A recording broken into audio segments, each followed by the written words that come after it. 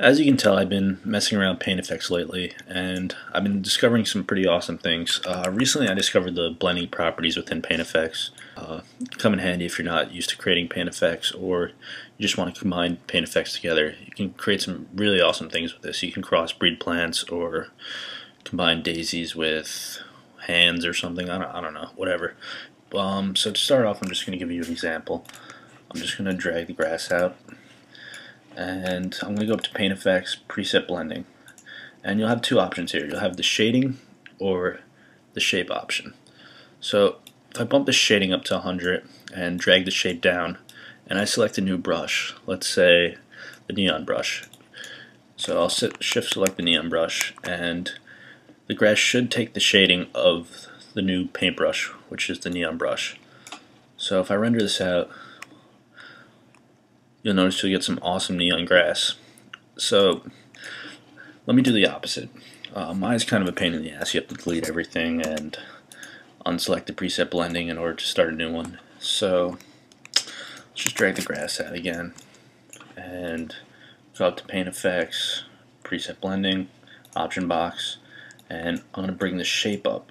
So if I want a new shape with the same shading as the grass, um, why don't we have some grass shaded light bulbs? Why not? Alright, so drag some light bulbs out, render that out. Um, looks kind of funny here, but yeah, you basically got the new shading of the grass. You can see it blending in there.